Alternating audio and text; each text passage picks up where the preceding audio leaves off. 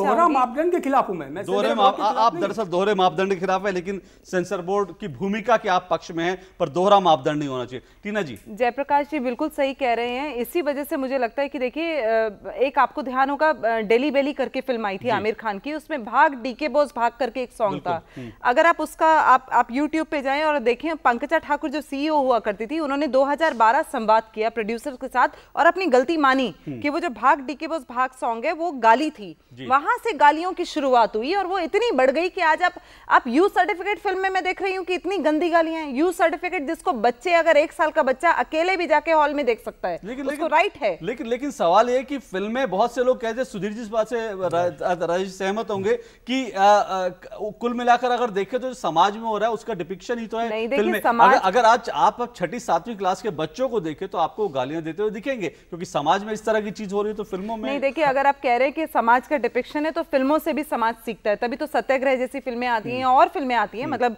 और भी काफ़ी सारी फ़िल्में जो मैसेज फ़िल्म है राजेश जी एक जो बात जो जिस, जिस जो हमारे लिए जो सबके लिए कंसर्न का विषय है हम्म। महिलाओं का जिस तरह का चित्रण फ़िल्मों में हो रहा है और वो एक बड़ा मुद्दा है टीना जी ने भी उठाया और इसको इसको इसमें देश में एक बड़ी बहस चल रही है। बिल्कुल ये एकदम वो आपको लगता है कि महिलाओं को आप जिस तरह से उपभोग की वस्तु बनाकर पेश किए जा रहे फ़िल्मों में वो बंद होना चाहिए बिल्कुल बिल्कुल ज़िम्मेदारी फिल्मकारों को दिखानी चाहिए। बिल्कुल ज़िम्मेदारी। मैं कह रहा हूँ कि फिल्मकारों में ये विवेक होना चाहिए। जैसा कि विवेक का अपने विवेक का इस्तेमाल बाकी सारे कलाकार लोग करते हैं फिल्मकारों को भी करना चाहिए। हम्म। लेकिन हम देखते हैं कि टेलीविज़न प्रोग्राम्स, देखिए, उनमें भी बहुत रिग्रेसिव नारी का चित्रण है। वो सेंसर बोर्ड से बाहर है। जी एग्जैक्टली और से, तो सेंसरशिप भी नहीं है हम्म। टेलीविज़न पे तो आप ये देख लीजिए सिर्फ़ दूरदर्शन के हाँ। अलावा कहीं सेल्फ सेंसरशिप है ही नहीं। नहीं है वो बात ठीक है लेकिन इसके लिए क्या करना चाहिए? अब मैं आपसे अगर राजेश जी ये जानना चाहूँ कि दरअसल अब ये महिलाओं का जिस तरह का चित्रण हो रहा है अब उसको लिए क्या करना चाहिए? आप कह रहे हैं कि सेंसर बोर्ड दरअसल अगर देखे तो नहीं होना चाहिए आ, लेकिन सेंसर बोर्ड के होते हुए जिस तरह से महिलाओं का चित्रण हो रहा है इसका मतलब कहीं ना कहीं फिल्मकार जो है इस मामले में सेंसिटिव संवेदनशील नहीं है। तो अब क्या करना चाहिए? रास्ता क्या है नहीं वो मेरा ये कहना है कि सिर्फ़ फिल्मकार नहीं बाकी जगह भी ये व्याप्त है। ऐसा नहीं है कि एड वर्ल्ड में भी है वो। अगर आप विज्ञापन देखें तो उनमें सबसे अधिक है नारी का इस्तेमाल बेचने के लिए चीज़ें। तो इस तरह की बहुत सारी चीज़ें हैं लेकिन फिर भी इसका इलाज ये ये पुलिसगिरी डंडागिरी नहीं है किसी भी हम्म, तरह से। हम्म, हम्म। आपको ये विवेक पे यकीन करना पड़ेगा ज़्यादा से ज़्यादा मुझे लगता है कि सर्टिफिकेट देने काटा पीटी ना करें। जी। और ऐसा तो कुछ नहीं है बाकी जगह आप देखिए। अब कई फ़िल्में आप सेंसर बोर्ड से पास करा के ले जाते हैं। और उसके बाद उनका विरोध होता है और वो राजनीतिक इस्तेमाल के तौर पे होता है। हम्म। आपने देखा होगा बहुत सारी फ़िल्मों का। जबकि उसमें कोई गलती विरोध हुआ उस फ़िल्मों में कोई गलती कमेटी का गठन किया गया कि उसको एक तरह से किस तरह से देखा जाए। बिल्कुल बहुत सारी चीज़ें। जयप्रकाश जी मैं आपसे क्योंकि महिलाओं के चित्रण का एक मुद्दा उठा और सेंसर बोर्ड की भूमिका की बात हो रही है आपकी पहली फ़िल्म जो थी जो आपने डायरेक्ट की थी साजन की बाहों में वो एक कम से कम फैमिली फ़िल्म थी हाँ। लेकिन जो दूसरी फ़िल्म आपकी है चाहत का नशा। उसके बारे में बहुत सारा कहा जाता है कि वो एक फैमिली फ़िल्म एक सामाजिक मुद्दे के ऊपर ही एक फ़िल्म बनाई थी मार्केट जी। जिसमें मनीषा कोयराला ने काम किया था वो एक ब्रॉथल की स्टोरी थी हाँ, हाँ। और हमने रियलिटी दिखाने की कोशिश की एक ज़माने में मुंबई शहर हो या हैदराबाद शहर हो जहाँ जो लोअर क्लास के अपना जो गरीब तबे के लड़कियाँ बेची जाती थी बाकायदा एक रात की निकाह किया जाता था उनके साथ हम्म। और दूसरे दिन तलाक दे दिया जाता उस मुद्दे को भी लेकर हमने फ़िल्म बनाई थी और उसमें भी हम महिला के चरित्र को बाकायदा उसके एंड तक लेके गए थे कि भाई किस तरह से अपनी लाइफ को फाइट करती है हम्म। एक ब्रोथल में रहने वाली लड़की को भी अपनी ज़िंदगी जीने का हक है। एक कॉल गर्ल को भी अपनी ज़िंदगी जीने का हक है। नहीं, वो समाज का ये आईना है जिसको हम उसी तरह से प्रेजेंट करते हैं। मैं एक छोटा सा ब्रेक लेता हूँ। जिस तरह की फ़िल्में आ रही हैं उसको लेकर लोग आपत्ति जता रहे हैं। तो सवाल यह है कि सेंसर बोर्ड की उदारता कितनी सही है? सवाल यह भी उठ रहे हैं कि सेंसर बोर्ड क्या कहीं ना कहीं कुछ साठ गाठ मिली भगत है कुछ प्रोड्यूसर्स के साथ उनकी जिस किसी भी तरह की फ़िल्में पास हो जाती हैं। टीना शर्मा जी हमारे साथ राजेश तेलंग जी हैं और मुंबई से हमारे साथ जुड़े हुए हैं जयप्रकाश जी बॉलीवुड से डायरेक्टर हैं प्रोड्यूसर हैं। टीना जी आ, हम एक बार फिर मैं मैंने मैं उस फ़िल्म की अगर बात करूँ जिससे हमने शुरुआत करी उस फ़िल्म को एक हफ़्ते में सत्तर करोड़ कमा लेती है। एक किताब आई है अंग्रेज़ी की फिफ्टी शेड्स ऑफ़ ग्रे और ये बहुत ज़्यादा बिक रही है। सवाल ये है कि लोग अगर अकेले में पढ़ रहे हैं या लोग सिनेमा हॉल में जा रहे हैं, इस तरह की लोग चीज़ें पसंद कर रहे हैं तो इसमें फिल्मकार क्या करेगा? अगर लोग देखना चाह रहे हैं तो उस तरह की चीज़ बनाएगा। देखिए देखना तो हम पॉन मूवी भी चाहते हैं तो हम्म। आप क्या पॉन मूवी सर्व करने लगेंगे। हम्म। देखना तो हम ड्रग्स भी लेना चाहते हैं तो क्या आप ड्रग्स सर्व करने लगेंगे? तो मेरे को ऐसा लगता है कि जैसे कि राजेश सैलंग जी ने भी बोला कि किसी चीज़ को रोकने के लिए पुलिस गिरी डंडागिरी नहीं होनी हम्म। चाहिए। तो फिर जब जंतर मंतर पे हम प्रोटेस्ट करते हैं या इंडिया गेट पे करते हैं फिर एक की धारा और पुलिस क्यों खड़ी की जाती है? फिर सारे कानून सब जगह बराबर होने चाहिए। इस देश में एक डेमोक्रेटिक कंट्री है हमारी। हमें अगर बोलने का हक है तो हमें वहाँ खड़े अगर हम वहाँ खड़े तो फिर एक धारा क्यों लगाई जाती है? तो फिर सब पे लाइए। आप सिर्फ़ देखिए मैं मेरी मेरी आपत्ति उन फ़िल्मों पे है जो पॉलिटिकल माइलेज की वजह से अब देखिए सत्याग्रह भी दिल्ली में रिलीज़ होने के लिए कहीं ना कहीं उसमें अड़ंगा आया। सत्याग्रह कहा गया कि अन्ना के ऊपर फ़िल्म है वो कहीं ना कहीं सिटिंग गवर्नमेंट के अगेंस्ट है। मद्रास कैफ़े आई तो वो सिटिंग गवर्नमेंट को सपोर्ट कर रही थी तो वो इजीली उस पर यू नो उसको पास कर दिया जाता तो इन चीज़ों पर भी हमें सोचना पड़ेगा कि हम कहाँ जा रहे हैं। एक लैंड ऑफ़ लॉ होता है हम्म। उस जो हमारा लॉ ऑफ़ लैंड है उसके हिसाब से अगर कोई चीज़ किताब बनी है कोई कानून है तो आप उसके बाहर जा रहे हैं तो हम ज़रूर आपत्ति करेंगे। हम्म, हम्म। आप उसके दायरे में रहिए। पार्लियामेंट से कानून लाइए आप जो मर्ज़ी सर्व कीजिए। मेरी आ, मैं अभी बहुत रिसेंटली जावेद अख्तर साहब के साथ बैठी थी और जब उनसे डिस्कशन हुआ एक फॉर्मल मीटिंग थी हमारी हम्म। मैंने कहा उन्होंने कहा मैंने कहा सर भाग मिल्खा भाग में देखिए जो आपने मैरिटल रेप सीन दिखाया है बेड सीन दिखाया है लिपलॉक है यू सर्टिफिकेट में लिपलॉक कभी नहीं मिल सकता हम्म। पर आप पॉलिटिकल नहीं मिल सकता। कानून नहीं मिल सकता। और हम्म। देखिए वो फ़िल्म जो है आज की तारीख में सुबह साढ़े आठ से पौने ग्यारह के शो में स्कूलों ने डिमांड की पीवीआर से। पीवीआर थिएटर में चल रही है और वो फ़िल्म का पौना घंटा कट के चल रही है। तो इसीलिए कट के चल रही है क्योंकि यू सर्टिफिकेट मिला है और उसको यू सर्टिफिकेट इसलिए दिया गया क्योंकि गवर्नमेंट का टैक्स चोरी कर रहे हैं। टैक्स अपने रिबेट लिया है। छह स्टेट्स में टैक्स रिबेट लिया है। तो आप अपनी पावर का बेजा इस्तेमाल कर रहे हैं हम्म। और कुछ भी पास करा रहे हैं। वो वो वो उस पर आपको आपत्ति है। मैं जयप्रकाश जी आपसे आखिरी बात जानना चाहूँगा ये संतुलन कैसे बनाया जाए? फ़िल्म को एक इंटरटेनमेंट का माध्यम समझना चाहिए कि एक माइंड सेट होकर एक आप फ़िल्म देखने के लिए जाते हो तो उसमें हर चीज़ एक ऑडियंस को मिलना चाहिए। देखिए आजकल सीरियल इतने बने घर द्वार और घर की सारी फैमिली वाली सीरियल फ़िल्म आज फ़िल्म में कोई देखने जाएगा नहीं। हम्म। जी। ठीक है ना?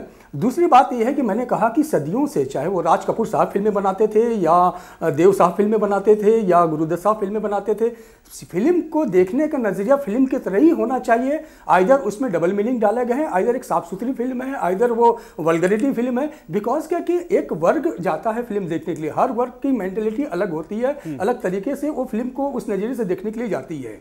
राजेश जी आपके आखिरी वर्ड आप कैसे समझते हैं?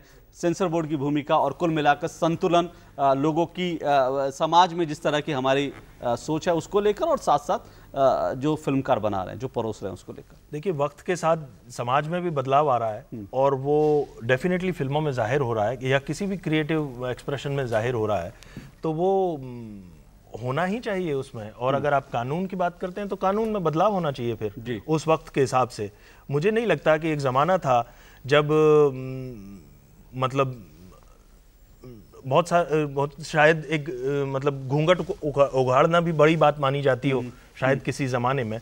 आज ऐसा नहीं है। जी। तो इसका मेरे इस कहने का मतलब ये नहीं है मेरा कि महिलाओं को का जिस तरह का चित्रण हो रहा है वो सही है। हम्म। लेकिन समाज में जो बदलाव हो रहा है वो कहीं ना कहीं तो दिखाई देगा। वो दिखाई देगा। वो दिखाई देगा। में अगर परिवर्तन आ रहा है तो समाज का बदलाव का कहीं ना कहीं एक बिल्कुल उसमें आ, हम ऐसे फ़िल्म फ़िल्म को इतना पावरफुल मीडियम हमने मान लिया मुझे लगता है टेलीविज़न उतना ही पावरफुल मीडियम हम्म। है और सिर्फ़ फ़िल्म के साथ ज्यादती होती है सेंसरशिप के मामले में बाकी कलाओं के साथ नहीं होती नहीं है मानना होती, नहीं होती। शायद फ़िल्म लोग ज़्यादा देखते हैं उसका ज़्यादा असर पड़ता है शायद ये एक सोच रही ज़्यादा रेवेन्यू आता है ये भी रेवेन्यू बिल आता है। टेलीविज़न का बहुत रेवेन्यू है। हाँ, सारे मुझे लगता है आजकल बड़े बड़े स्टार अगर टेलीविज़न की तरफ़ जा रहे तो कहीं ना कहीं उसके पीछे रेवेन्यू हम्म। भी है। टीना जी आप लड़ रही हैं सेंसर बोर्ड को लेकर। आपको लगता है कानून बदलना एक सही रास्ता है? या फिर जो कानून है दरअसल उसके हिसाब से हमें फ़िलहाल चलना चाहिए। सेक्सुअल एजुकेशन भी देश में होनी चाहिए। हम्म, हम्म। बहुत सारी चीज़ों में फिर हमें उदारता दिखानी चाहिए। एक सेंसिटाइजेशन जो देश का होता है वो उस हिसाब से करें। इसको सिर्फ़ इसी तरीके से मैं कह सकती हूँ इसका बहुत अच्छा एग्ज़ाम्पल है कि आप एक मल्टी स्पेशलिटी ट्रेन ला रहे हैं पर उसका ट्रैक हम्म। क्या है? आप उसको ट्रैक को देखिए। यूएस में ब्रिटेन में अगर आप देखिए मलेशिया में वहाँ की रेटिंग्स आप देखिए तो पंद्रह सोलह सत्रह नौ रेटिंग्स पर ये कैसे मुमकिन हो सकता है कि यहाँ पर एक फ़िल्म को दो फ़िल्में यहाँ पर अगर मैं लूँ अभी रिसेंट मेरी जो जिन पे मेरा ऑब्जेक्शन है रेस टू और डर्टी पिक्चर तो डर्टी पिक्चर को यूएस में अडल्ट रेटिंग मिली है और रेस टू को भी अडल्ट रेटिंग मिली है। पर इंडिया में यूए रेटिंग मिली है तो कहीं ना कहीं जुगाड़ की राजनीति है पहली बात। हम्म। दूसरी बात ये कि आप लेकर आइए फ़िल्मों को पर एक वलगैरिटी और जो आर्ट के बीच में एक थिन लाइन है मैं बिल्कुल सहमत हूँ राजेश तेलंग जी की बात से कि आप आपको बिल्कुल एक्सप्रेशन आपका आप देना चाहें आपको देना चाहिए एक फ्रीडम होना चाहिए पर फ्रीडम में अगर कमर्शियल एंगल है तो उस पर टेक भी होना चाहिए और उस पर हम्म। एक कानून भी होना चाहिए और उस पर एक ऐसा देखिए सारे फिल्मकार अपने आप को उसमें बाँध के नहीं चलेंगे जी, तो जहाँ कमर्शियल एंगल है जहाँ पैसे का एंगल है वहाँ तो आप और समाज पूरा प्रतिबिंबित हो रहा है उससे तो आप कैसे उसको बिना कानून के छोड़ देंगे हम्म। आप एक एक एक आप कह, मैं कह सकती हूँ कि एक आप जानवर छोड़ रहे हैं और उसको आप आप रस्सी से नहीं बाँध रहे हैं तो वो हम्म। नुकसान करेगा जाके। तो मुझे मैं यही एग्जांपल दे सकती हूँ। चलिए फ़िलहाल ये बहस दिलचस्प रही। बहुत बहुत शुक्रिया इस बहस में जुड़ने के लिए। जयप्रकाश जी आपका मुंबई से टीना जी आपका और राजेश जी आपका भी बहुत बहुत शुक्रिया। सेंसर बोर्ड की भूमिका को लेकर बहस जो चल रही है उम्मीद की जानी चाहिए। ये बहस जो है इस बहस से कुछ ज़रूर निकलेगा। कानून में परिवर्तन हो फिल्मकार जिम्मेदार बने और कहीं ना कहीं हमें कला और साथ साथ वलगैरिटी के बीच में जो अश्लीलता और साथ साथ जो है आ, कला जो है उसके बीच में कहीं ना कहीं अंतर करने का सीखना पड़ेगा ये बहुत बड़ी ज़िम्मेदारी है। फ़िलहाल आज जानने का हक में इतना ही लेकिन अभी मत जाइएगा क्योंकि फ़िलहाल हमें देश भर में इस बीच जो कुछ हुआ आरटीआई को लेकर उस पर नज़र डालनी है और देश भर में इस हफ़्ते जो कुछ लेकर देश भर में आरटीआई को लेकर हुआ वो सभी समेट कर ला रहे हैं हमारे संवाददाता आरटीआई इस हफ़्ते में। बिहार में बाकी राज्यों के बनस्बत चाहे वो महाराष्ट्र हो या गुजरात हो आरटीआई कार्यकर्ताओं पर हमले होने और उनकी हत्या होने की जो घटनाएँ हैं, वो काफ़ी आम हो रही हैं और हत्याओं में इजाफा हो रहा है। ऐसा कहना है बिहार के आरटीआई एक्टिविस्ट और मैगसेसे पुरस्कार विजेता संदीप पांडे का। पिछले दिनों बिहार में आरटीआई कन्वेंशन हुआ था, जिस दौरान उन्होंने इस बात का दावा किया था। और उनका ये भी मानना है कि बिहार में जो करप्शन है, वो काफ़ी ज़्यादा है, जिसके चलते ऐसी घटनाओं में इजाफा हो रहा है। कहीं ना कहीं आरटीआई कार्यकर्ताओं पर इस तरह के हमले और उनकी हत्याएँ होना काफ़ी चिंता का विषय है। खबर कर्नाटक से है। केंद्र सरकार का एक महत्वपूर्ण कानून है, सूचना का अधिकार कानून।